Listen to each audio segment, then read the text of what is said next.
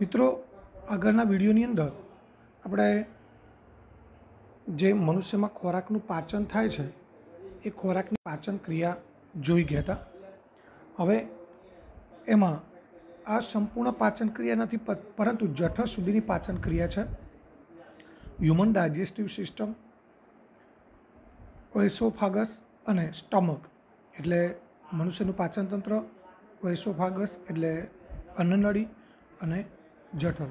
હવે મિત્રો આપણે શરૂઆત કરી હતી કે સૌથી પહેલાં આપણે એમાં સમજાવેલું કે આપણું પાચન તંત્ર છે, એમાં પાચન માર્ગ તો મુખથી શરૂ કરી અને મળદ્વાર સુધી લંબાયેલો છે, પરંતુ ખોરાકનું પાચન માત્ર ત્રણ ભાગમાં જ થાય છે. એક મુખ, બીજું જઠર અને ત્રીજું નાનું આંતરડું. આ સિવાયના જે અંગો છે, જેમાં અન્નનળી છે, મોટું આંતરડું છે મળાશય છે આવા જે પાચન તંત્રના ભાગો છે, એમાં કોઈ ખોરાકનું પાચન થતું નથી. તો હવે જોઈએ આપણે મુખમાં પાચન. અહીંયા આ વિડીયોની અંદર આપણે મુખમાં પાચન અને જઠરમાં પાચન કેવી રીતે થાય છે, એ આપણે એનિમેશન વીડિયો દ્વારા સમજીએ. તો સૌથી પહેલાં આપણે વાત કરીએ મુખમાં પાચન, કે જ્યારે આપણે ખોરાક ગ્રહણ કરીએ, તો એ ખોરાક મુખમાં દાખલ થાય, એટલે દાંત વડે ખોરાક ચાવવાની ક્રિયા શરૂ થાય. અને દાંત વડે ખોરાક ચાવવાની ક્રિયા શરૂ થાય એ દરમિયાન લાળ ગ્રંથિમાંથી લાળ રસનો સ્ત્રાવ પણ થાય. અને જીભ છે, માંસલ જીભ, માંસપેશીની બનેલી જીભ, એ લાળ રસને ખોરાક સાથે સંપૂર્ણપણે મિશ્ર કરે, જેથી ખોરાક ચીકણો અને પોચો બને. તો આ બાબત આપણે અહીંયા જોઈએ. આપણે જોઈ શકીએ છીએ કે દાંત દ્વારા ખોરાક ચવાય છે. આ ચાવવાની ક્રિયા શરૂ થઈ. હવે દાંત વડે ખોરાક છે, એ ચાવવાની ક્રિયા શરૂ થાય છે.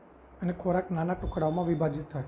ઉપર આપણે જોઈ શકીએ છીએ કે અહીંયા લાળ ગ્રંથિમાંથી ઉપરથી લાળ રસનો સ્ત્રાવ થતો દેખાય છે.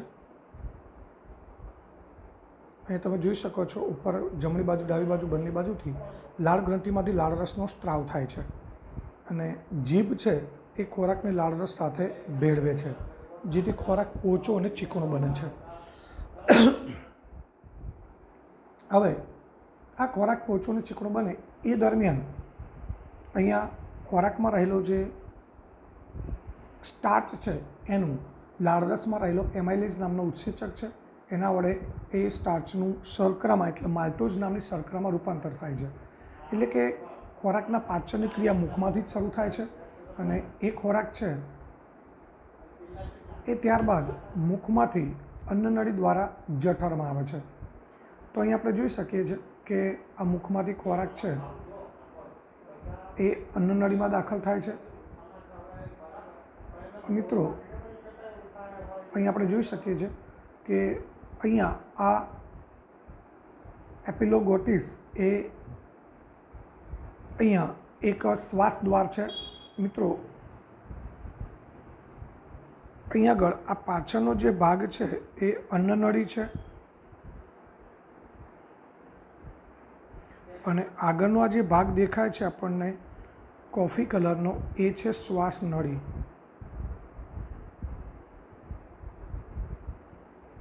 ઉપર મિત્રો, આપણું નાકનું પોલાણ અને મુખનું પોલાણ બંને આ એક જ માર્ગમાં ખુલે છે અને આ માર્ગને કંઠનળી કહેવાય છે.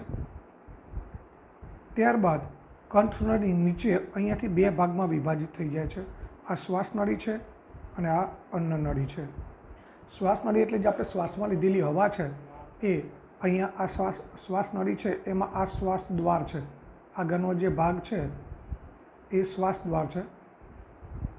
એ શ્વાસ દ્વાર વડે એ ઓક્સિજનયુક્ત હવા અંદર જાય છે અને એની ઉપર અહીંયા જે આ ભાગ દેખાડેલો છે, આટલો ભાગ, જેના વડે શ્વાસ દ્વાર બંધ થઈ જશે, જે આપણે આગળ વિડીયોમાં જોઈશું. એટલે આપણે જ્યારે ખોરાકનો કણ કે ખોરાકનો કોળીઓ ઉતારીએ છીએ, ત્યારે આ ઘાટી ઢાંકણ નામનો પડદો છે. જે આપણે આગળ આવશે ભણવા, શ્વસન તંત્રમાં. એ ઘાટી ઢાંકણ નામના પડદા વડે આ શ્વાસ દ્વાર બંધ થઈ જાય, જેથી ખોરાક છે એ આ ખોરાક અહીંયા શ્વાસનળીમાં જતો નથી. તો અહીંયા આપણે જોઈ શકીએ છીએ, આ શ્વાસ દ્વાર અહીંયા બંધ થઈ ગયું. જેના લીધે આ શ્વાસ દ્વાર બંધ થઈ ગયા છે, એટલે ખોરાક છે આ શ્વાસનળીમાં આવતો નથી, પરંતુ અહીંયા અન્ન નળીમાં આગળ વધે છે. તો ખોરાક છે અન્નનળીમાં દાખલ થાય છે.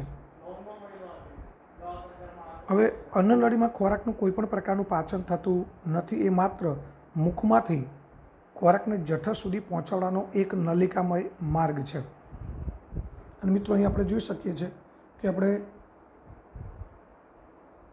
તરંગવત સંકોચન જોઈ ગયા હતા કે જ્યારે ખોરાક પાચન માર્ગના વિવિધ ભાગોમાંથી પસાર થાય ત્યારે એના અંદર અસ્તરમાં રહેલા, અંદરના અસ્તરમાં રહેલા જે સ્નાયુઓ છે, એનું લયબદ્ધ સંકોચન થાય અને એના પરિણામે એ ખોરાક છે એ પાચન માર્ગમાં આગળ વધે છે. તો અહીં આપણે જોઈ શકીએ છીએ, જ્યાં ખોરાક પહોંચ્યો છે, એ ભાગ સહેજ ફૂલેલો, પહોળો છે, પાછળનો આગળનો ભાગ સાંકડો છે.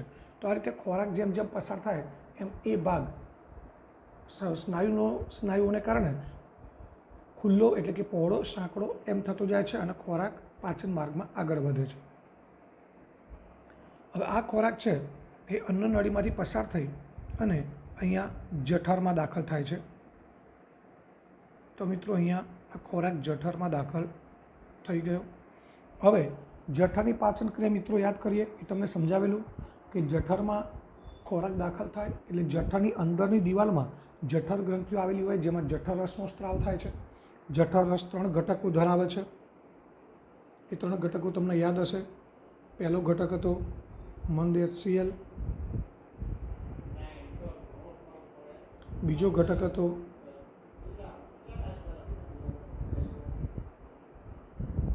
શ્લેષ્મ.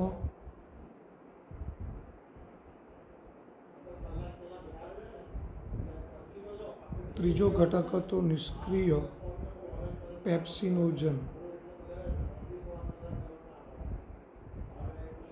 આ ત્રણ ઘટકો જઠર રસમાં હોય છે મિત્રો. હવે, એ ત્રણે ત્રણ ઘટકના આપણે કાર્યો યાદ કરી લઈએ કે મંદ એચસીએલ છે એના મુખ્ય ચાર કાર્યો છે. પહેલું કાર્ય ખોરાક સાથે આવતા બેક્ટેરિયા અને અન્ય સૂક્ષ્મજીવોનો નાશ કરે છે. ત્યારબાદ ખોરાકની અંદર એ ભળે છે એટલે ખોરાકને એસિડિક બનાવી અને એસિડિક માધ્યમ પૂરું પાડે છે. ત્યારબાદ આ જે નિષ્ક્રિય પેપ્સિનોજન છે, એને સક્રિય પેપ્સિનમાં ફેરવે છે. ચોથું કાર્ય હતું અદ્રાવ્ય ક્ષારોને ઓગાળે છે. ત્યારબાદ બીજું છે શ્લેષ્મ. તો શ્લેષ્મ છે, એનું કાર્ય પણ આપણે જોઈ ગયા હતા કે જઠરની અંદરની દિવાલમાં શ્લેષ્મ સ્તર બને. શ્લેષ્મ એટલે ચીકણું પ્રવાહી. જઠરની અંદરની દિવાલમાં એક પાતળું સ્તર આવરણ બનાવે.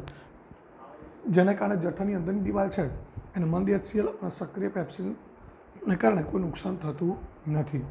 અને ત્યારબાદ આ નિષ્ક્રિય પેપ્સિનોજન છે, એ મંદ એચસીએલને કારણે હવે મિત્રો, સક્રિય પેપ્સિનમાં ફેરવાઈ જાય છે.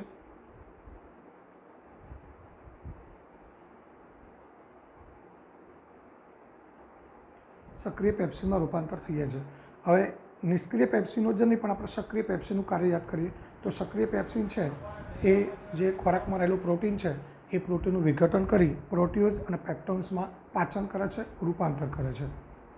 તો એ ક્રિયા અહીં આપણે જોઈએ. હવે મિત્રો ખોરાક જઠરની અંદર દાખલ થયો છે. આ મ્યુકસ મ્યુકસ એટલે મિત્રો શ્લેષ્મ છે, હાઇડ્રોક્લોરિક એસિડ અને ત્રીજું તમે જોઈ શકો છો, ડાયજેસ્ટિવ જ્યુસીસ. ડાયજેસ્ટિવ એટલે પાચક અને જ્યુસીસ એટલે રસ. પાચક રસો એટલે જેમાં નિષ્ક્રિય પેપ્સિનોજન આવે. આ ત્રણ વસ્તુ અંદરથી સ્ત્રાવ થાય છે. હવે અહીંયા મંદ એચસીએલના કાર્યો આપણે જોઈ લીધા. અહીંયા આગળ મ્યુકસ મેમ્બ્રેન. મેમ્બ્રેન એટલે પડદો, આવરણ. મ્યુકસ એટલે શ્લેષ્મ. એટલે આ જે છે, આ આપણને શ્લેષ્મનું આવરણ બની ગયું જઠરની અંદરની દિવાલમાં. જે મેં તમને સમજાવેલું કે જઠરની અંદરની દિવાલમાં શ્લેષ્મનું એક આવરણ બની જાય, જેના લીધે મંદ, એચસીએલ અને સક્રિય પેપ્સિન છે, એ જઠરની આ જે દિવાલ છે, એને કોઈ નુકસાન કરી શકે નહીં. એટલે આ છે એ શ્લેષ્મનું આવરણ બની ગયું. આ જે છે, ગ્રે કલર એ શ્લેષ્મનું આવરણ છે. એટલે એનું શ્લેષ્મનું કાર્ય છે જઠરની અંદરની દિવાલમાં. એ અસ્તર બનાવે છે, જેના કારણે જઠરની દિવાલને મંદ એચસીએલ અને સક્રિય પેપ્સિન સામે કોઈ નુકસાન થતું નથી. હવે, ત્યારબાદ આગળ જઈએ. હવે મંદ એચસીએલ એના કાર્યોની આપણે વાત થઈ ગઈ. તો અહીંયા આ તમે જોઈ શકો છો. આ મંદ એચસીએલવાળું છે, આ ખોરાક છે. અને આ બ્લુ કલરના બેક્ટેરિયા છે. તો આપણે અહીંયા આ વિડીયોની અંદર જોઈ શકીશું કે મંદ એચસીએલ છે એ આ બેક્ટેરિયાનો કેવી રીતે નાશ કરે છે. તો અહીંયા જોઈ શકીએ છીએ આપણે. આ મંદી એચસીએલ છે, એ બેક્ટેરિયાનો નાશ કરી દીધો. એટલે આ રીતે બેક્ટેરિયા અને સૂક્ષ્મજીવો સામે એ રક્ષણ કરે છે. તો ત્યારબાદ મંદ એચસીએલનું ત્રીજું કાર્ય હતું, એ પણ અહીં આપણને જોવા મળશે. તો આ જે ખોરાક છે, એના મોટા કણો છે. હવે આપણે જોઈ શકીએ છીએ આ ગ્રીન કલર છે, આ મંદી એચસીએલના કણો છે. તો અહીંયા આ જે ખોરાકના કણો છે, એનું મંદ એચસીએલ છે, ખોરાકમાં રહેલું જે પ્રોટીન છે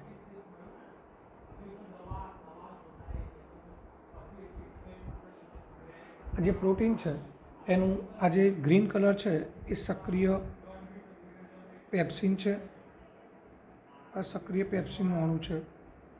એ સક્રિય પેપ્સિન આ જે પ્રોટીનનો અણુ છે, આ મોટો, આ પ્રોટીનનો અણુ છે. એ પ્રોટીન અણુનું વિઘટન કરે છે. તો એ આપણે અહીંયા જોઈએ. આ પ્રોટીન અણુનું વિઘટન થયું. નાના નાના અણુમાં રૂપાંતર થયું. તો આ રીતે અહીંયા આ જઠરની અંદર પાચન ક્રિયા થાય છે. ત્યારબાદ જઠરની અંદર આ ખોરાક વલોવાય છે. જેમ વલોડામાં દહીં વલોવાય, છાશ અને માખણ બને એમ અહીં આપણે જોઈ શકીએ છીએ કે જઠરની અંદર પણ ખોરાક વલોવાય છે.